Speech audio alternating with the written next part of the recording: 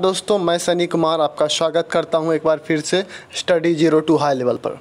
आज हम लोग डिस्कस करेंगे आवर्त सारणी से संबंधित जितने भी प्रश्न बनते हैं, उन सभी को डिस्कस करेंगे इस वीडियो में।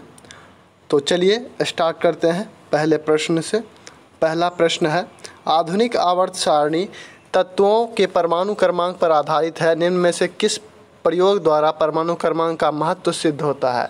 तो ये प्रयोग है एक्स किरण स्पेक्ट्रा पर मोसले का कार्य। तो इसका आंसर हो जाएगा बी, ऑप्शन नंबर बी। अगला प्रश्न है, प्रश्न नंबर दो, एक तत्व का इलेक्ट्रॉन विन्यास one S two two S two two P six, three S two, three P three है। आवर्त सारणी में इस तत्व के समूह में संलग्न नीचे के स्थान के तत्व का परमाणु क्रमांक क्या होगा? तो इसका परमाणु क्रमांक हो जाएगा तैतीस। अगला प्रश्न है, यदि एक परमाणु का इलेक्ट्रॉनिक विन्यास one S two two S two two P six, three S two, three P six, three D three, four S two है तो इसे रखा जाएगा। कौन से? समूह में रखा जाएगा तो इसे रखा जाएगा पाँचवें समूह में। इसका आंसर हो जाएगा सी। निम्न में से किसके इलेक्ट्रॉन संख्या F two plus Z equal to twenty six में डी इलेक्ट्रॉन की संख्या के बराबर नहीं है तो इसका आंसर हो जाएगा क्लोरीन जेड बराबर सत्रह में पी इलेक्ट्रॉन के। Option number A. अगला प्रश्न है, निम्न में से कौन सा परमाणु क्रमांक एक धातु का है? तो धातु का परमाणु क्रमांक कौन सा है? तो इसमें आप विन्यास निकाल के निकाल सकते हैं तो इसका आंसर हो जाएगा डी। अगर आपको इस डिटेल वाला वीडियो देखना है तो लिंक दे दिया जाएगा डिस्क्रिप्शन में। Study zero to high level पर मौजूद है। अगला प्रश्न है छठा नंबर। कौन सा कथन हाइड्रोजन परमाणु के लिए सही नहीं है? तो इसका पहला ऑप्शन है यह कुछ गुण हेलोजन समूह के समान प्रदर्शित करता है, या कुछ गुण क्षारीय धातु के समान प्रदर्शित करता है, इसके आवर्त सारणी के सातवें समूह में रखा जा सकता है, इसे आवर्त सारणी के प्रथम समूह में नहीं रखा जा सकता है। तो इसका आंसर हो जाएगा, इसे आवर्त सारणी के प्रथम समूह में नहीं रखा जा सकता है। ऑप्शन डी, अगला प्रश्न है सातवां, इनमें से कौन सी उपधातु है? तो उपधातु इसमें से है आर्सेनिक। अगला प्रश्न है निम्न में से किस तत्व का कौन सा जोड़ा आवर्त सारणी के एक ही आवर्त का है? एक ही आवर्त का जोड़ा कौन सा है? तो ये हो जाएगा सोडियम और क्लोरीन एक ही आवर्त का जोड़ा है। अगला है नौवा प्रश्न रसायन शास्त्र के पिता किसे कहा जाता है? तो ये कहा जाता है लेबोजियर को। अगला प्रश्न है परमाणु क्रमांक 10, 18, 36, चौवन और छियासी वाले सभी तत्व क्या है? तो ये सभी तत्व जो है, अक्रिय गैस हैं। अगला प्रश्न है, आवर्त सारणी में दाहिनी और स्थित तत्व है। तो दाहिनी और स्थित तत्व पहले पेज पर आवर्त सारणी है, उसमें देख सकते हैं आप। तो दाहिनी और तत्व स्थित जो है, वो हैं अधातुएँ। मिडिल में सभी धातु है। अगला प्रश्न है बारहवा। आवर्त सारणी के विकास में सबसे अधिक सक्रिय भाग लेने वाले वैज्ञानिक कौन थे? तो सबसे सक्रिय वैज्ञानिक थे मैंडलीफ। मैंडलीफ का आवर्त सारणी सबसे पहले क्रमबद्ध तरीके से आया था, लेकिन वो परमाणु द्रव्यमान के ऊपर था, और उसके बाद आधुनिक आवर्त सारणी आया, परमाणु संख्या। अगला प्रश्न है, परमाणु क्रमांक छः वाले तत्व का आवर्त सारणी में स्थान है। छः वाले तत्व का आवर्त सारणी में स्थान है चौथा। Option number A. अगला प्रश्न है, तत्व एक्स, वाई, जेड तथा टी का इलेक्ट्रॉनिक विन्यास दिया गया है। आंतरिक कक्षा से प्रारंभ करने पर कौन सा तत्व सर्वाधिक धात्विक तत्व है? तो सबसे ज़्यादा धात्विक तत्व इसमें से है, option number C, Z equal to two eight eight one. जिसके, जिसमें एक वैलेंसी इलेक्ट्रॉन है, वो ज़्यादा धात्विक तत्व है। अगला प्रश्न है आवर्त सारणी के फ्लोरीन समूह में ऊपर से नीचे की ओर चलने पर क्या होता है? तो ऊपर से नीचे की ओर जाने पर आयनिक त्रिज्या जो है, बढ़ेगी। Option number C. अगला प्रश्न है, आवर्त सारणी के दीर्घ रूप में होते हैं। तो आवर्त सारणी के दीर्घ रूप में होते हैं सात क्षैतिज पंक्ति और अठारह ऊर्ध्वाधर स्तंभ। अगला प्रश्न है, आवर्त सारणी में किसी आवर्त में बाएँ से दाहिने और बढ़ने पर धात्विक गुण क्या होता है? तो बाएँ से दाएँ जाने पर धात्विक गुण जो है, घटता है। अगला प्रश्न है, one S two two S two two P six, three S two electronic विन्यास वाला तत्व होना चाहिए। तो ये होना चाहिए एक धातु, क्योंकि इसमें बैलेंसिंग इलेक्ट्रॉन आएगा। अगला प्रश्न है आवर्त सारणी में दसवां तत्व किसके अनुरूप होगा? तो दसवां तत्व जो है ये अनुरूप होगा द्वितीय आवर्त के। अष्टक नियम के अनुसार। न्यूलैंड न्यूलैंड ने अष्टक नियम दिया था। इनके अनुसार से अगर परमाणु द्रव्यमान के अन, आ, क्रम में सजाया जाए तत्व को तो पहला तत्व आठवां तत्व के बराबर होगा इस अनुसार से। एल्यूमिनियम विकर्णतः संबंधित है तो एल्यूमिनियम विकर्णतः संबंधित है बेरियम से। अगला प्रश्न है, परमाणु क्रमांक उनतीस वाला तत्व होगा। उनतीस वाला तत्व जो है, ये हो जाएगा डी ब्लॉक में। अगला प्रश्न है, दुर्लभ मृदा तत्व की कुल संख्या। तो दुर्लभ मृदा तत्व की कुल संख्या है चौदह। अगला प्रश्न है तेईसवां आवर्त सारणी का दीर्घ रूप आधारित है तो आवर्त सारणी का दीर्घ रूप आधारित है परमाणु के कर, परमाणु के परमाणु क्रमांक पर। अगला प्रश्न है चौबीसवां एक तत्व का इलेक्ट्रॉनिक विन्यास ये दिया गया है one S two two S two two two P six three S two three P four इसे किस आवर्त समूह या ब्लॉक में रखा गया है? तो इसे रखा गया है आवर्त, थर्ड, ब्लॉक पी। ये सभी निकालना आपको सीखना पड़ेगा अगर आप अच्छे से पढ़ोगे। इसका वीडियो मौजूद है study zero to high level पर। आप प्लेलिस्ट में जाके देख सकते हो। पच्चीसवा प्रश्न है, सबसे हल्की धातु कौन सा है? तो बहुत ही इजी क्वेश्चन है, सबसे हल्की धातु लिथियम। सबसे भारी धातु है, ऑस्मियम। अगला प्रश्न है निम्न में से कौन सा तत्व लेंथेनाइड दुर्लभ मृदा तत्व है? तो लेंथेनाइड तत्व कौन सा है? लेंथेनाइड तत्व हो जाएगा सीरियम सबसे सामान्य लेंथेनाइड कौन सा है? सबसे सामान्य लेंथेनाइड है सीरियम लिथियम मैग्नीशियम से रासायनिक व्यवहार में समानता प्रदर्शित करता है, क्योंकि? तो इसका आंसर हो जाएगा समान आकार, समान ऋण विद्युतता और समान उच्च ध्रुवन क्षमता के कारण। अगला प्रश्न है उनतीसवा। तत्व जिसके परमाणु क्रमांक नौ, सत्रह, पैंतीस, तिरपन, पचासी हैं, वे सभी क्या है? तो ये सभी जो है, नौ, सत्रह, पैंतीस, तिरपन, पचासी, ये सभी आ जाते हैं हेलोजन समूह में। अगला प्रश्न है लिथियम और मैग्नीशियम के रासायनिक गुण समान होते हैं। क्यों? लिथियम और मैग्नीशियम के रासायनिक गुण समान होते हैं क्योंकि विकर्ण संबंधित, संबंध प्रदर्शित करते हैं लिथियम और मैग्नीशियम। अगला प्रश्न है, विकर्ण संबंध प्रदर्शित करने वाले तत्व कौन सा है? तो ये है, प्रथम आवर्त के तत्व और तीसरे आवर्त के तत्व। ये दोनों विकर्ण संबंध प्रदर्शित करते हैं। अगला प्रश्न है, समूह चार का अंतरिम तत्व पाया गया है। समूह चार का अंतरिम तत्व पाया गया है दुर्लभ धात्विक। Option number B.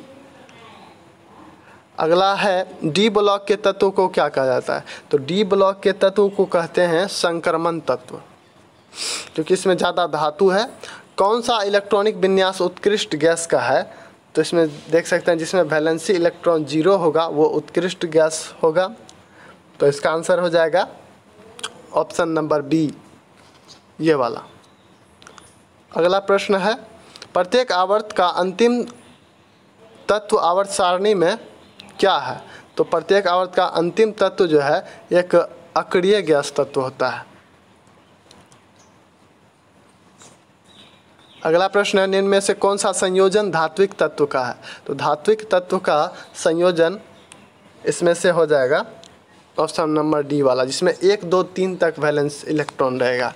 आवर्त सार सारणी के दीर्घ रूप में अधातु को रखा गया है। तो दीर्घ रूप में रखा गया है अधातु को पी ब्लॉक में। परमाणु क्रमांक का कौन सा युग्म एस ब्लॉक तत्व को प्रदर्शित करता है? तो एस ब्लॉक को प्रदर्शित करता है तीन और बारह। आधुनिक आवर्त नियम के अनुसार तत्व के भौतिक और रासायनिक गुण निम्न के आवर्त फलन होते हैं। तत्व के भौतिक और रासायनिक गुण जो है, ये इलेक्ट्रॉनिक विन्यास क्या अर्थ फलन होते हैं। अगला है, डी ब्लॉक तत्व में अधिकांश होते हैं। तो डी ब्लॉक तत्व में अधिकांश मिलेंगे आपको। ऐसी कोई ऐसी, कई ऐसी धातु जिसमें उत्प्रेरकीय गुण है। अगला प्रश्न है, प्रत्येक आवर्त में क्षार धातु का क्या? क्षार धातु का सबसे कम आयनन विभव होता है, प्रत्येक क्षार धातु में। अगला प्रश्न है, बयालीसवां आवर्त सारणी के किसी एक तत्व में उपस्थित सभी तत्व का परमाणु क्रमांक समान होता है, इलेक्ट्रॉनिक विन्यास समान होता है, परमाणु भार समान होता है, बाह्यतम कोष में इलेक्ट्रॉन की संख्या समान होती है। तो इनमें से क्या होगा? तो इसका आंसर हो जाएगा ऑप्शन नंबर डी। बाह्यतम कोष में इलेक्ट्रॉन की संख्या समान होती है या बंद? बनाने के लिए इलेक्ट्रॉन की संख्या समान होती है।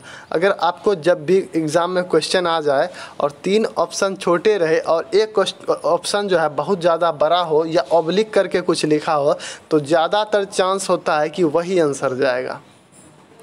अगला प्रश्न है, आवर्त सारणी के किसी समूह में ऊपर से नीचे की ओर जाने पर कौन सा गुणधर्म अपरिवर्तित रहता है। तो संयोजकता इलेक्ट्रॉन जो है, ये गुणधर्म अपरिवर्तित रहता है।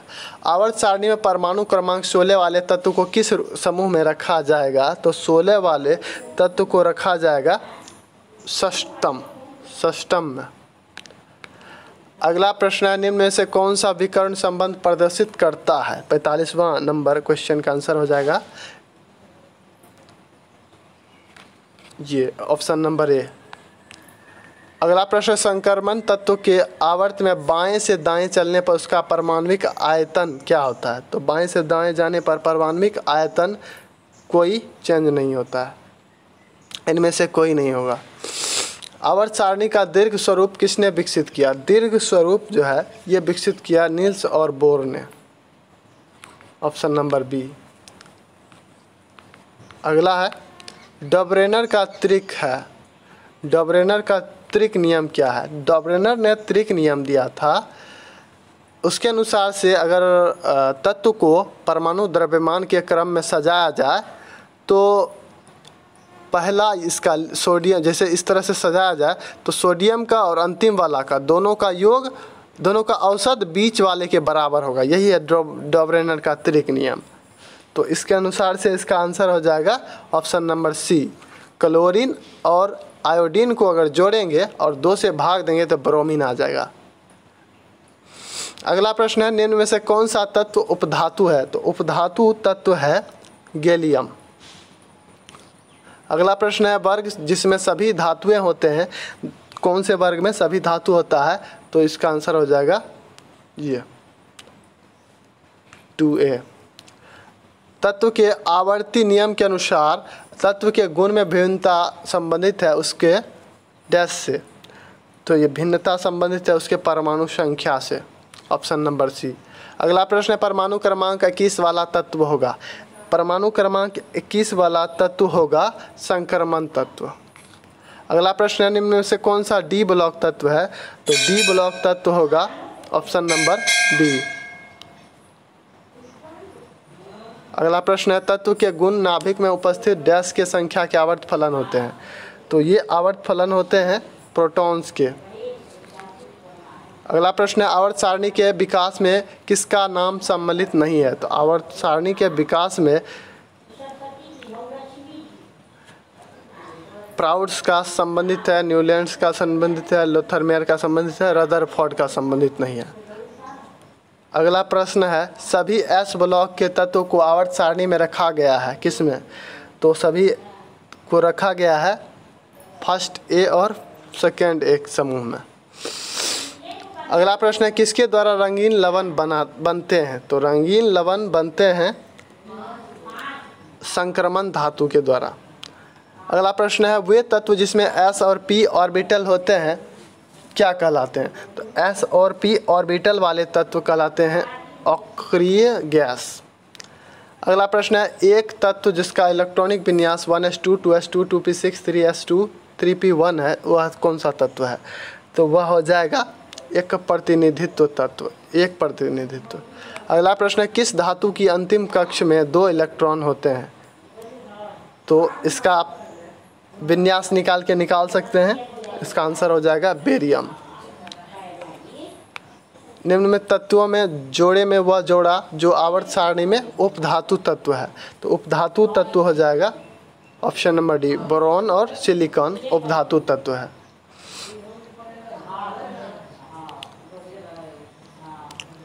अगला है, इनमें से कौन सा एक सामान्य तत्व है? तो एक सामान्य तत्व हो जाएगा लिथियम। अगला प्रश्न है, विकर्ण संबंध का कारण क्या है? तो विकर्ण संबंध का कारण है, तत्व के समान इलेक्ट्रॉन और रेडियस अनुपात।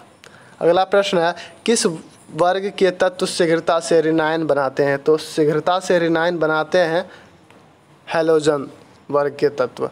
एक आवर्त में तत्व की व्यवस्था का नियम, नियत क्रम क्या है? तो नियत क्रम है, नाभिक में बढ़ता हुआ आवेश। अगला प्रश्न है, आवर्त सारणी में परमाणु त्रिज्या तत्व में दाएँ से बाएँ चलने पर क्या घटती है? आवर्त सारणी परमाणु त्रिज्याए तत्व में दाएँ से बाएँ चलने पर जो है, बढ़ती है। समूह में नीचे की ओर जाने पर परमाणु का आकार इस कारण बढ़ता है। किस कारण से बढ़ता है? तो ये बढ़ेगा इलेक्ट्रॉन की संख्या के बढ़ने के कारण से। अगला प्रश्न है, मुख्य तत्व समूह में एक में जब हम आवर्त सारणी के उस समूह में ऊपर से नीचे जाते हैं और दो, जब हम उसी आवर्त में बाएँ से दाएँ तरफ़ जाते हैं तो परमाणु त्रिज्या का होता है।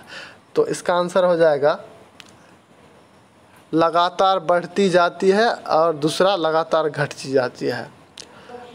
अगला प्रश्न है, गलत कथन बताइए, आवर्त सारणी के किसी आवर्त से क्षैतिजतः बाई से दाई जाने पर क्या होता है? तो बाएँ से दाएँ जाने पर सामान्य तत्व के लिए परमाणुओं का आकार बढ़ता है। ये कथन गलत है।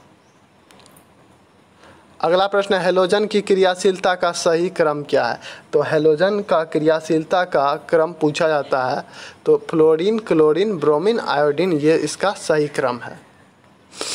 किसी गैसीय परमाणु के बाहरी कक्ष में एक अतिरिक्त इलेक्ट्रॉन जोड़ने पर जो ऊर्जा उत्पन्न होती है, उसे क्या कहते हैं?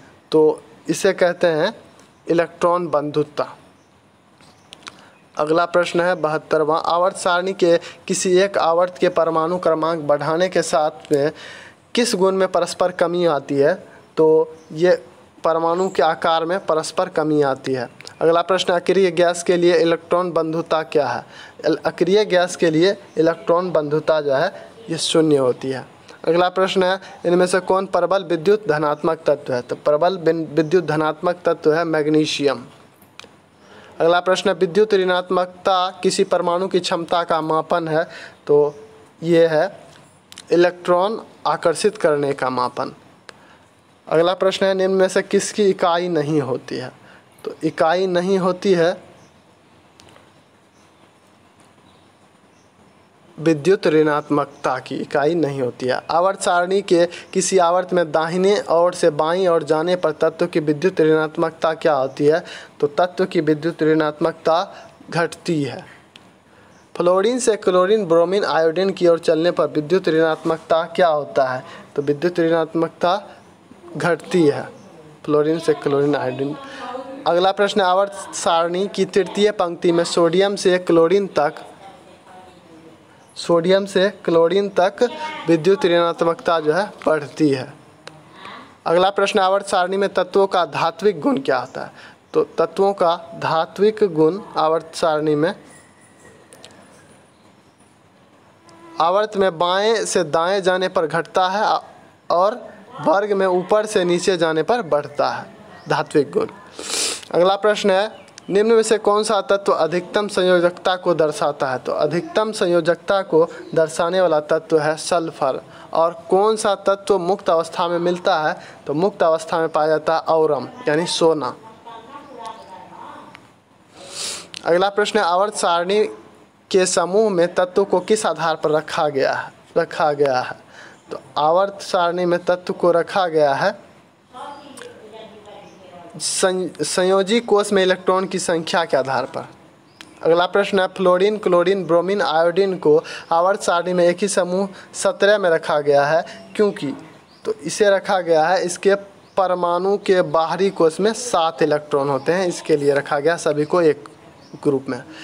उभयधर्मी हाइड्रोक्साइड का युग्म कौन सा है? तो उभयधर्मी हाइड्रोक्साइड का युग्म होगा इसमें ये, ऑप्शन नंबर डी, बेरियम अगला प्रश्न है, निम्न में से कौन सा आवर्ती गुण नहीं है? तो आवर्ती गुण नहीं है, छियासी का हो जाएगा डी परमाणुक द्रव्यमान जो है आवर्तिक गुण नहीं है, क्योंकि ये परमाणु द्रव्यमान चेंज होते जाता है।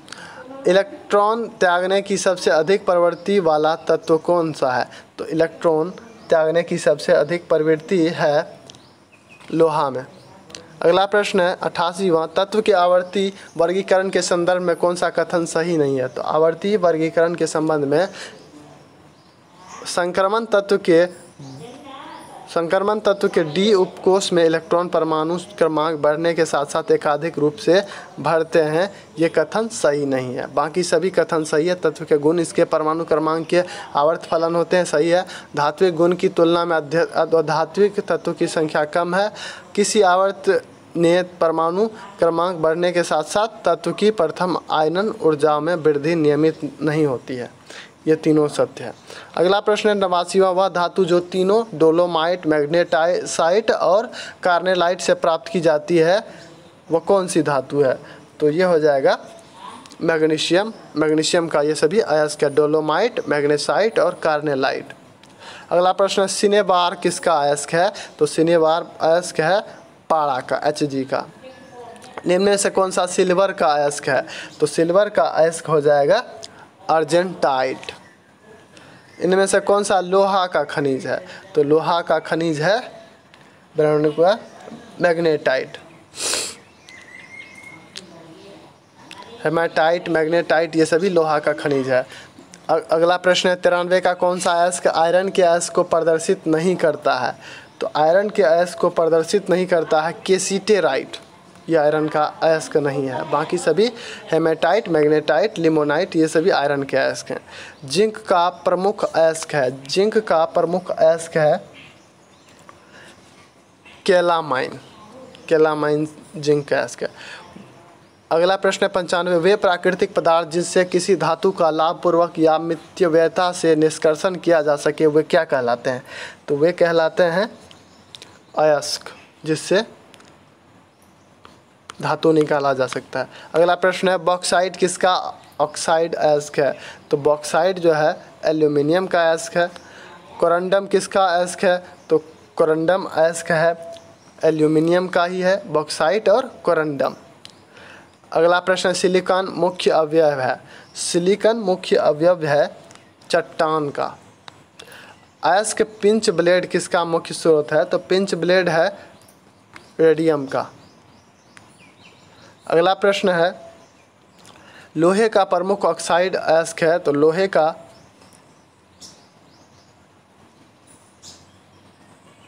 अगला प्रश्न सौवा, एक छूट गया। भूपर पट्टी में सर्वाधिक मात्रा में पाए जाने वाला तत्व कौन सा है?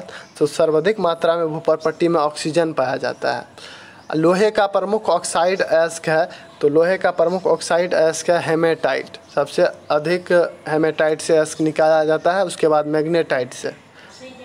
F E three O four hematite का सूत्र होता है। अगला प्रश्न एक सौ दुवा कौन सा सत्य कथन है? तो सत्य कथन है, इसमें से सभी एस्क खनिज है, लेकिन सभी खनिज एस्क नहीं है। अगला प्रश्न है, धातु कर्म एक प्रक्रिया है तो धातु क्रम जो है प्रक्रिया है अयस्क से धातु के निष्कर्षण की प्रक्रिया है धातु क्रम कौन सी सत्य है? तो सत्य हो जाएगा इसमें से कॉपर और मेलाकाइट। मेलाकाइट से कॉपर निकाला जाता है। अगला प्रश्न है, सभी अयस्क खनिज है लेकिन सभी खनिज अयस्क नहीं है, क्यों? तो इसका कारण है, सभी खनिज से धातु निष्कर्षण आर्थिक रूप से सुगम नहीं होता है इसके लिए। अगला प्रश्न है, फेन उत्पादन विधि में पानी में मिलाया जाता है। तो फेन उत्प्लावन विधि में पानी में मिलाया जाता है चीड़ का तेल। अगला प्रश्न है, लो एस का सांद्रण किस विधि द्वारा किया जाता है? तो लो एस का सांद्रण किया जाता है चुंबक उपचार विधि। चुंबक लोहे से आकर्षित होकर अलग हो जाता है। अगला प्रश्न है, लीचिंग प्रक्षालन एक प्रक्रिया है तो लीचिंग एक विधि है सांद्रण की लीचिंग विधि द्वारा सांद्रण किया जाता है। अगला प्रश्न है, गालक का प्रयोग किसे हटाने में किया जाता है? तो गालक का प्रयोग किया जाता है, ऑप्शन नंबर डी, ए और अम्लीय शुद्धि को हटाने में भी और क्षारीय शुद्धि को भी हटाने में गालक का प्रयोग किया जाता है। अगला प्रश्न है, एक सौ दसवां। भट्टी में उपयोग होने वाला यौगिक है जो सस्ता और उच्च गलनांक वाला है। तो इसका आंसर हो जाएगा बी, सी, ओ ओ। निस्तापन, कैल्सिनेशन वह प्रक्रिया है जिसमें एस्क को गर्म किया जाता है। किसमें? तो कैल्सिनेशन में एस्क को गर्म किया जाता है वायु की अनुपस्थिति में। अगला प्रश्न है, भर्जन प्रक्रिया में प्रयुक्त होती है। तो भर्जन प्रक्रिया में प्रयुक्त होती है वात्या भट्टी अगला प्रश्न है, प्रगलन की, किया जाता है। तो प्रगलन किया जाता है वात्या भट्टी में गलाया जाता है धातुओं को। अगला प्रश्न है, प्रगलन उस क्रम, प्रक्रम को कहते हैं जिसमें तो प्रगलन में क्या होता है? प्रगलन में होता है अस को पिघलाया जाता है। अभी तुरंत डिस्कस किए हम लोग। विद्युत अपघटनी शुद्धिकरण में अशुद्ध धातु को बनाते हैं। तो अशुद्ध धातु को बनाते हैं एनोड पर। अशुद्ध एनोड पर होता है अगला प्रश्न है, अर्धचालक सेमीकंडक्टर पदार्थ में उपयोग के लिए किस विधि द्वारा अति शुद्ध सिलिकॉन प्राप्त किया जाता है? तो ये प्राप्त किया जाता है जौन परिशोधन विधि द्वारा शुद्ध सिलिकॉन। अगला प्रश्न है, कौन सुमेलित है? इनमें से कौन सुमेलित है? तो इसका आंसर हो जाएगा मैग्नेसाइट एम अगला प्रश्न है, इलेक्ट्रॉन मिश्र धातु है। तो इलेक्ट्रॉन मिश्र धातु है मैग्नीशियम और जिंक की। अगला प्रश्न है, हाइड्रोजन का वह गुण जो उसे क्षारीय धातु से अलग करता है, कौन सा है? तो क्षारीय धातु से अलग करता है वह है इसका औधात्विक गुण, हाइड्रोजन का। हाइड्रोजन का रंग क्या है? तो हाइड्रोजन का रंग जो है रंगहीन, हाइड्रोजन रंगहीन है। अगला है एक सौ इक्कीसवां प्रश्न, इनमें से कौन सा हाइड्रोजन को प्रतिस्थापित नहीं करेगा? तो हाइड्रोजन को प्रतिस्थापित नहीं करेगा पारा अगला प्रश्न है, हाइड्रोजन नाम दिया गया था तो हाइड्रोजन जो है, नाम दिया गया था लेबोजियर के द्वारा। समुद्री जल से शुद्ध जल प्राप्त किया जा सकता है किस विधि द्वारा? तो समुद्री जल से शुद्ध जल प्राप्त कर सकते हैं विपरीत परासरण रिवर्स ऑस्मोसिस द्वारा। कौन सी धातु एच को अपचयित नहीं करेगा? तो एच टू ओ को अपचयित नहीं करेगा, वो धातु है कॉपर। जल की अस्थायी कठोरता दूर की जाती है। जल की अस्थायी कठोरता दूर की जा सकती है सिर्फ़ उबाल के। फोटोग्राफी में सोडियम थायोसल्फेट का उपयोग किया जाता है। क्यों? तो इसका आंसर हो जाएगा, धात्विक ए को N A three A G S O three whole two संकुलन लवण के रूप में हटाने के लिए। अगला प्रश्न है, क्षारीय धातु इलेक्ट्रॉन खोती है? क्षारीय धातु इलेक्ट्रॉन खोती है एस कक्ष से। अगला प्रश्न है, साल्वे विधि किसे बनाने के लिए उपयोग किए करते हैं? तो साल्वे विधि अमोनिया के लिए यूज़ करते हैं। अगला प्रश्न है, सोडियम तथा पोटेशियम की जल के साथ क्रिया होती है? तो सोडियम और पोटेशियम की जल के साथ क्रिया होती है उष्मा छेपी अगला प्रश्न है, सोडियम कार्बोनेट का औद्योगिक निर्माण होता है। तो सोडियम कार्बोनेट का औद्योगिक निर्माण होता है साल्वे विधि द्वारा। अगला प्रश्न है, सोडियम कार्बोनेट के औद्योगिक निर्माण की विधि को क्या कहते हैं? तो इस विधि को कहते हैं, ली ब्लॉन्क प्रक्रम। अगला प्रश्न है, सही कथन को पहचानने के लिए।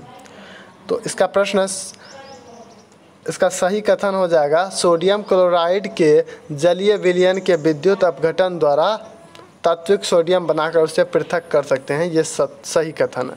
क्षारीय धातु की विशेषता क्या है? तो क्षारीय धातु की विशेषता है, उष्मा तथा विद्युत की अच्छी सुचालक होता है क्षारीय धातु।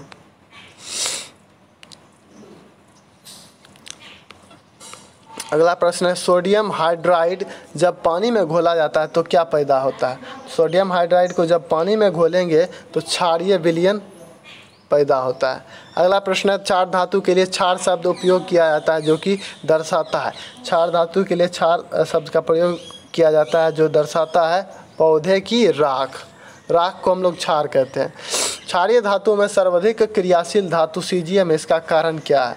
तो इसका कारण है दूसरे क्षारीय धातु के इलेक्ट्रॉन की अपेक्षा इसका बाह्यतम इलेक्ट्रॉन कुछ ढीला बंधा रहता है, इसीलिए।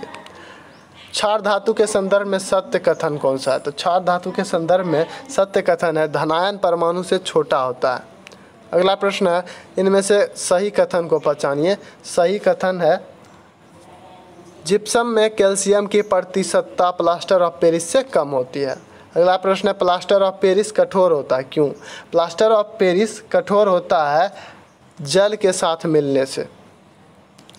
अगला प्रश्न है, छप्पन परमाणु क्रमांक वाले तत्व संबंधित है। तो छप्पन परमाणु क्रमांक वाले तत्व संबंधित है, क्षारीय मृदा धातु से।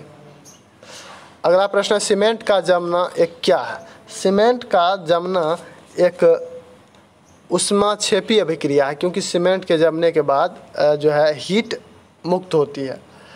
अगला प्रश्न है, क्षारीय मृदा धातुएँ संबंधित है। क्षारीय मृदा धातु जो है, संबंधित है एस ब्लॉक से। अगला प्रश्न है, विद्युत अपघटनी रिफाइनिंग द्वारा एल्युमिनियम का शुद्धिकरण क्या कहलाता है? तो ये कहलाता है हूप विधि एल्युमिनियम का शुद्धिकरण। आगे चलते हैं। एक प्रश्न है, मोहर त्वरण में जल के अणुओं की संख्या क्या है? मोहर त्वरण में जल के अणु की संख्या है छ अगला प्रश्न है सामान्य फिटकिरी है। सामान्य फिटकिरी का सूत्र देखिए, बहुत लंबा चौड़ा है। तो फिटकिरी का सूत्र होता है K two S O four A L two S O four whole three twenty four H two O अगला प्रश्न है, आवर्त सारणी के तृतीय समूह में उपस्थित तत्व आर के लिए सत्य क्या है? तत्व आर के लिए सत्य है, यह आर टू ओ थ्री बनाती है। अगला प्रश्न है बोरेक्स का जलीय विलियन होता है तो बोरेक्स का जलीय विलियन, जिसे सुहागा भी कहते हैं, वो क्षारीय होता है। अगला प्रश्न है स्मोक स्क्रीन बनाने के लिए किसका उपयोग करते हैं? तो स्मोक स्क्रीन बनाने के लिए उपयोग करते हैं कैल्शियम फास्फेट का। अगला प्रश्न है, टंका किसकी मिश्र धातु है? तो टंका मिश्र धातु है शीशा और टीन की, जिससे फ्यूज भी बनाया जाता है विद्युत फ्यूज हीरा ग्रेफाइट से कठोर है, क्योंकि? तो हीरा ग्रेफाइट से कठोर है, इसका कारण है इसमें, इनमें से कोई नहीं। हीरे के पास मुक्त इलेक्ट्रॉन है, ये सभी इसका कारण नहीं है। इसका रासायनिक बंधन इसका कारण है। कार्बन द्वारा अनगिनत यौगिक बनने का कारण क्या होता है? तो कार्बन कार्बन द्वारा अनगिनत यौगिक, सबसे ज़्यादा यौगिक कार्बन से ही बनते हैं तो इसका सबसे मेन कारण है इसका श्रृंखला प्रवृत्ति। ये श्रृंखला इजीली बना लेते हैं। एन का परमाणु क्रमांक सात है, नाइट्रोजन परिवार के तीसरे सदस्य का परमाणु क्रमांक है। तो नाइट्रोजन परिवार के तीसरे सदस्य का परमाणु क्रमांक हो जाएगा तैतीस।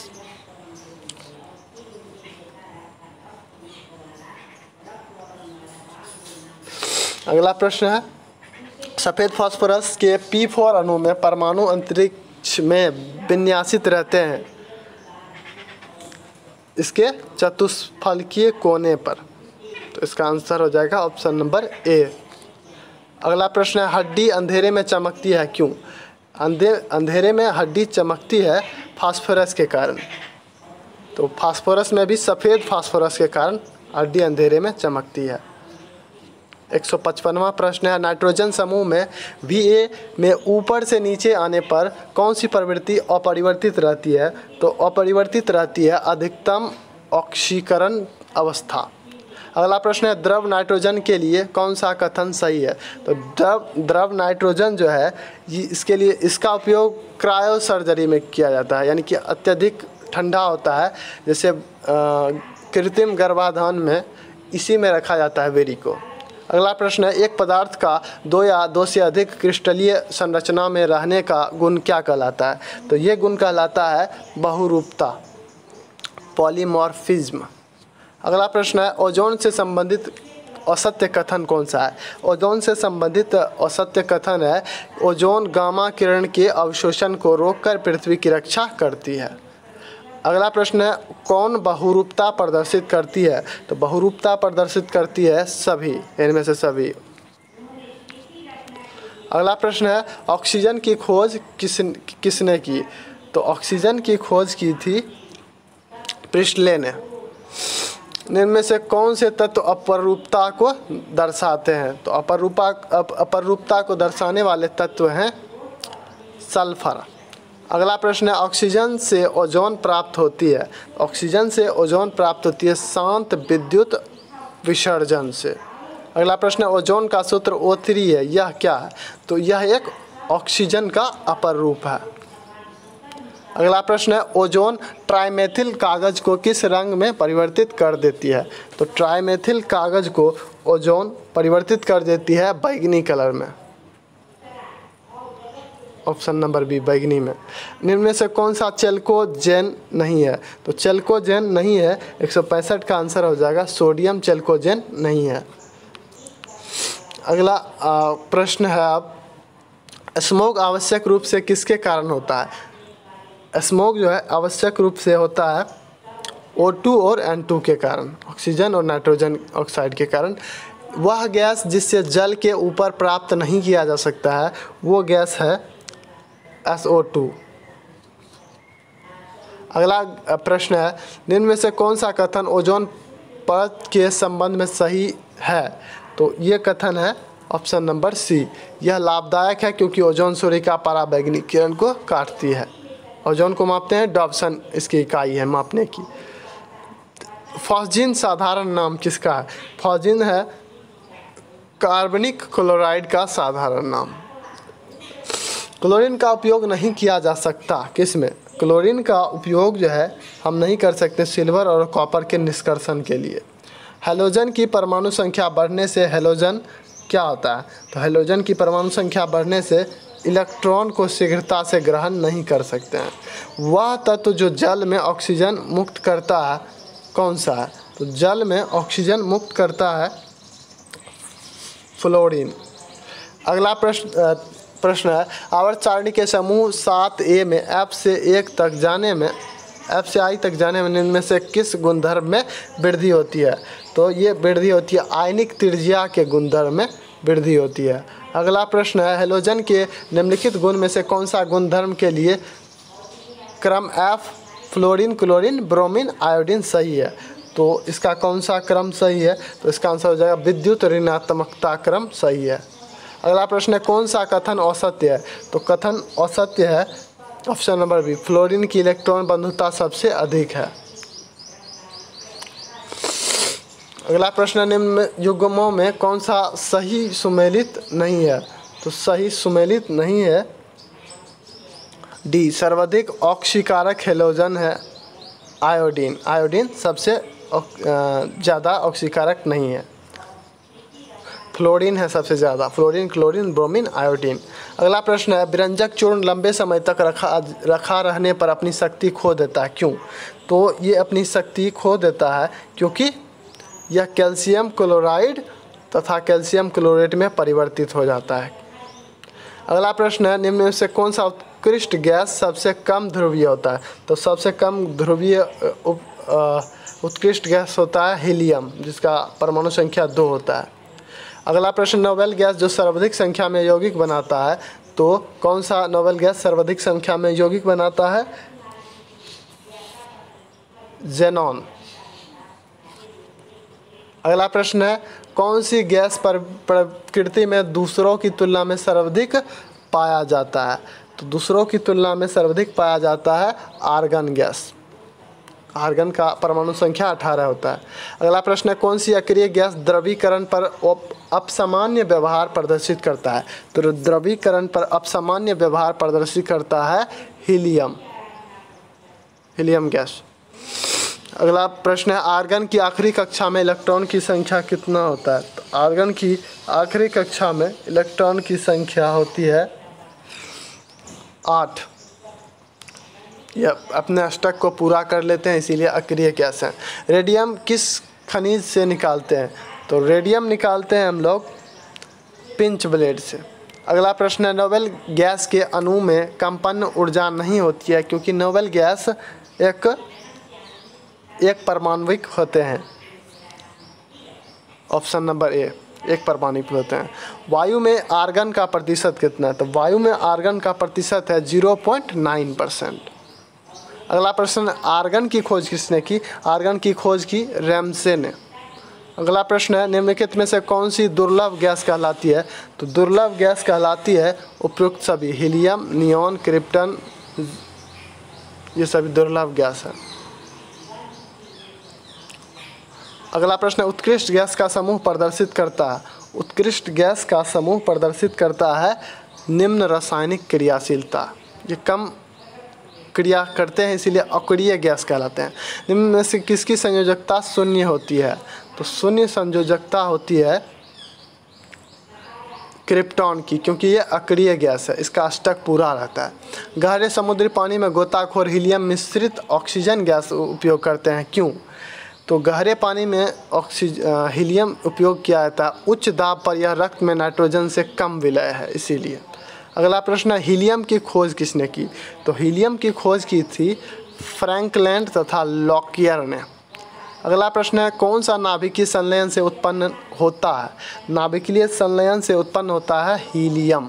हाइड्रोजन और हाइड्रोजन मिलके हीलियम हो जाता है। अगला प्रश्न है, सूची एक को सूची दो से मिलान करने का है। तो इसका आंसर हो जाएगा ऑप्शन नंबर डी। आप लोग इसका मिलान कर लीजिएगा। अगला प्रश्न है, सामान्य ग्लास का संघटक है। तो ग्लास का सूत्र पूछ रहा है।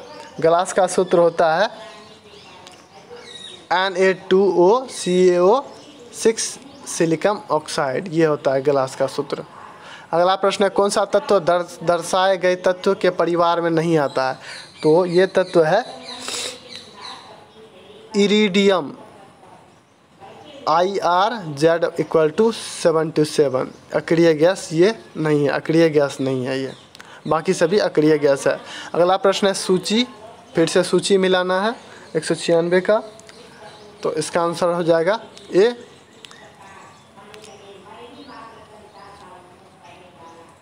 आप लोग मिला लीजिएगा। अगला प्रश्न है, केवल मरकरी ऐसी धातु है जो ज़ीरो डिग्री सेंटीग्रेड पर द्रव होती है, इसका कारण क्या है?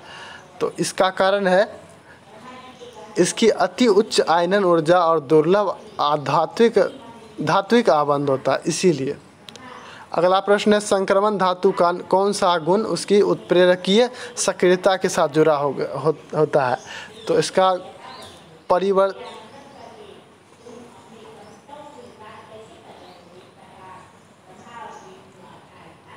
धातु का निम्न में से कौन सा गुण उसकी उत्प्रेरकीय सक्रियता के साथ जुड़ा हुआ आता है? तो इसका आंसर हो जाएगा परिवर्ती ऑक्सीकरण अवस्था। अगला प्रश्न है लेंथेनाइड है। तो लेंथेनाइड है लेंथेनाइड है छठे आवर्त में चौदह तत्व, परमाणु क्रमांक अंठावन से इकहत्तर तक जो है, छठे आवर्त में वो लेंथेनाइड है। उसके बाद संक्रमण तत्व के लिए कौन सा कथन सही है? संक्रमण तत्व के लिए कथन डी सही है। यह परिवर्ती ऑक्सीकरण अवस्थाएँ प्रदर्शित करती है। अगला प्रश्न है सबसे अधिक क्रियाशील धातु कौन सा है? तो सबसे अधिक क्रियाशील धातु है लोहा। अगला प्रश्न है, निम्न में से कौन सी धातु सर्वाधिक प्रभावी उत्प्रेरक का निर्माण करती है? तो सबसे प्रभावी उत्प्रेरक का निर्माण करती है सक्रिय धातु, संक्रमण धातु। अगला प्रश्न है, आयरन परिवार की सभी धातु का प्रबल चुंबकीय गुण सामान्य रूप से क्या कहलाता है? तो ये सामान्य रूप से कहलाता है लौह चुंबकीय। अगला प्रश्न है, संक्रमण धातु अनुचुंबकीय प्रदर्शित करती है क्यों? तो ये अनुचुम प्रदर्शित करती है अयुग्मित इलेक्ट्रॉन के कारण। अगला प्रश्न है, जिस तत्व जिसकी परमाणु संख्या 26 है तो 26 होता है परमाणु संख्या आयरन की। अगला प्रश्न है, प्लेटिनम, पैलेडियम, इरिडियम को उत्कृष्ट धातु नोबल मेटल कहते हैं, क्यों? तो इसको नोबल मेटल कहते हैं, क्योंकि ये कई सामान्य अभिकर्मक के प्रति अक्रिय हैं। अगला प्रश्न है डी ब्लॉक के सभी डी ब्लॉक तत्व की तरह जिंक तथा मरकरी परिवर्तित संयोजकता नहीं दर्शाते हैं। क्यों? तो ये नहीं दर्शाते हैं, क्योंकि इसमें डी कक्षक पूर्ण भरे होते हैं। अगला प्रश्न है ए जी परमाणु का इलेक्ट्रॉनिक विन्यास क्या है? तो ए जी यानी कि चांदी का परमा, इलेक्ट्रॉनिक विन्यास कह रहा है तो इलेक्ट्रॉनिक विन्यास हो जाएगा चांदी का ये। ऑप्शन नंबर सी अगला प्रश्न है, संक्रमण तत्व किस ब्लॉक से संबंधित है? तो संक्रमण तत्व संबंधित है डी ब्लॉक से, क्योंकि इसमें धातु है। अगला प्रश्न है, किस संक्रमण धातु का उपयोग उत्प्रेरक के रूप में करते हैं? तो उत्प्रेरक के रूप में करते हैं ए और बी दोनों का, निकेल और कोबाल्ट दोनों का उपयोग करते हैं। कौन सा अमलगम नहीं बनता है? तो अमलगम नहीं बनाता है लोहा। अगला प्रश्न है, अधिकांश संक्रमण तत्व होते हैं तो अधिकांश संक्रमण तत्व होते हैं अनुचुंबकीय। अगला प्रश्न है, निम्न में से कौन सा संक्रमण धातु के लिए सत्य नहीं है? तो संक्रमण धातु के लिए सत्य नहीं है कि ये अंत ये अंत केंद्रित घन संरचना षटकोण सुसंकलित संरचना में क्रिस्टल होते हैं। अगला प्रश्न है कौन सी धातु नमी युक्त वायु में आसानी से संचारित हो जाती है? तो सबसे आसानी से संचारित होती है आयरन, लोहा, सबसे ज़्यादा जंग होता है। अस्थाई चुंबक किससे बनता है? तो अस्थाई चुंबक बनता है इस्पात से। अगला प्रश्न है, घंटा धातु बेल मेटल किसकी मिश्र धातु है? तो घंटा धातु मिश्र धातु है कॉपर और टीन का। एक तरह से कांसा से घंटा बनता है। अगला प्रश्न है, जर्मन सिल्वर में सिल्वर का प्रतिशत क्या है? तो जर्मन सिल्वर सिर्फ़ इसका नाम है, इसमें सिल्वर ज़ीरो परसेंट होता है, यानी नहीं होता है। अगला प्रश्न है, लोहे के बने जहाज़ के तल को सुरक्षित रखने के लिए सबसे अधिक उपयुक्त विधि है? तो सबसे अधिक उपयुक्त विधि है सफ़ेद टीन का लेपन। अगला प्रश्न है, आयरन की सबसे अधिक अस्थाई ऑक्सीकरण संख्या क्या है? तो आयरन की सबसे अधिक ऑक्सीकरण संख्या अस्थाई है प्लस तीन। कैलोमल का सही सूत्र क्या है? कैलोमल का सही सूत्र है H D two C L two अगला प्रश्न है, तापानुशीलन क्या है? तापानुशीलन है इस्पात को लाल होने तक गर्म करना और फिर धीरे धीरे ठंडा करना, यही कहलाता है तापानुशीलन। यानी पहले ताप देना, उसके बाद शीतल करना। अगला प्रश्न है, जंग। जंग क्या है? तो जंग का सूत्र क्या है? तो जंग का सूत्र हो जाएगा F E two O three plus F E O H whole two अगला प्रश्न है आयरन का रूप जिसमें सबसे अधिक कार्बन अवयव। तो सबसे ज़्यादा कार्बन अवयव होता है ढलवा लोहा में। अगला प्रश्न है, भारत में निर्मित इस्पात में प्रमुख घटक है। तो भारत में निर्मित इस्पात में प्रमुख घटक है मैग्नीज और क्रोमियम। अगला प्रश्न है, इस्पात में होता है तो स्टील में क्या क्या होता है? स्टील में होता है लोहा, कार्बन और मैग्नीज। इसमें और भी निकल भी होता है, कोबाल्ट भी होता है, लेकिन स्टील के बहुत सारा क्लासिफिकेशन होते हैं। निम्न में से कौन सी धातु उभय धर्मो उभयधर्मी ऑक्साइड बनाते हैं? तो उभय धर्मी ऑक्साइड बनाने वाले धातु हैं जिंक। जिंक उभयधर्म ऑक्साइड बनाते हैं। गर्म करने पर सिल्वर नाइट्रेट देता है। गर्म करने पर सिल्वर नाइट्रेट देता है ए जी एन ओ टू और ओ टू अगला प्रश्न है निम्न में से किसे मूर्खों का सोना भी कहते हैं? तो मूर्खों का सोना कहते हैं आयरन पायराइड को। अगला प्रश्न है, ड्यूरालुमिन एक मिश्र धातु है। तो ड्यूरालुमिन एक मिश्र धातु है अल्मोनियम मैग्नीशियम, मैग्नीज और कॉपर का। अगला प्रश्न है, इंसुलिन में उपस्थित धातु अंश है। तो इंसुलिन में उपस्थित होता है जिंक आंशिक रूप से। अगला प्रश्न है ढलवा लोहे के बारे में कौन सा कथन गलत है? तो ढलवा लोहा जो है या ठंडा करने पर सिकुड़ता है ये कथन गलत है। बाकी सभी इसे पिग लोहा भी कहते हैं, सही है। इसमें लगभग साढ़े चार परसेंट कार्बन होता है। ढलवा लोहा में अधिक कार्बन होता है। और यह संसारण प्रतिरोधी भी होता है, ये भी सत्य है। अगला प्रश्न है, कौन सा गलत सुमेलित है? दो सौ बत्तीस का, गलत सुमेलित है मोनल धातु। Copper plus zinc plus tin ये मोलन धातु ये गलत है। बाकी जर्मन सिल्वर का कॉपर जिंक निकेल सही है। अल्निको का फेरस अल्मीनियम निकेल कोबाल्ट ये सही है। ड्यूरालुमिन का एलमोनियम कॉपर मैग्नीज मैग्नीशियम ये सही है। लोहे का अशुद्ध रूप कौन सा है? तो लोहे का अशुद्ध रूप है ढलवा लोहा। यह भंगुर होता है। अगला प्रश्न है स्पिगलिसिन किसकी मिश्र धातु है? स्पेगलिसिन मिश्र धातु है लोहा कार्बन और मैग्नीज का। अगला प्रश्न है इस्पात में एसआई की उपस्थित, उपस्थिति उससे देती है। सिलिकॉन की अगर उपस्थिति रहेगा इस्पात में तो वो उसे रेशिय संरचना दे देगा। रेशा के समान। अगला प्रश्न है, एक आवर्त में अधिकतम आयनन विभव प्रकट करते हैं।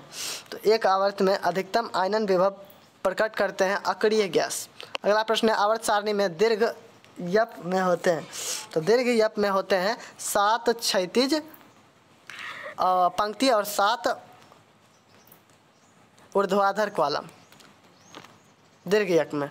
अगला प्रश्न है, सात, सत्रह परमाणु क्रमांक वाला तत्व आवर्त सारणी के किस समूह में रखा जाएगा?